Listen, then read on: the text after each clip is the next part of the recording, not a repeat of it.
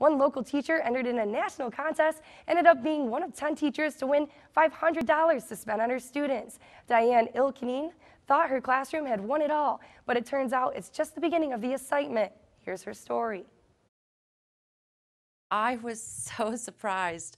Um, I enter contests and I write for grants and and you know as much as I can and I was just so thrilled to learn that I had been chosen.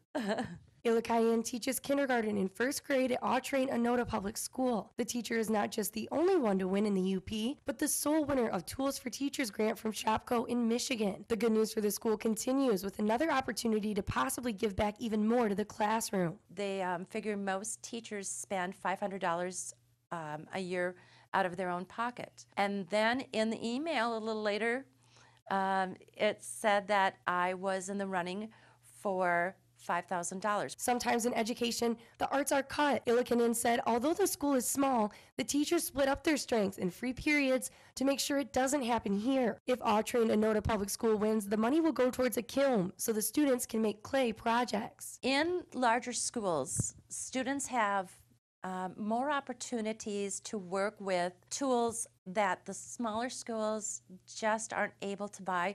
This would be such a wonderful opportunity for our students. The rest of the money would be spent on more instruments for the school's music program. The school is asking for some Yooper pride and to go online every day until October 5th to place your vote for Mrs. Illikainen. Visit our website, abc10up.com, for the direct link.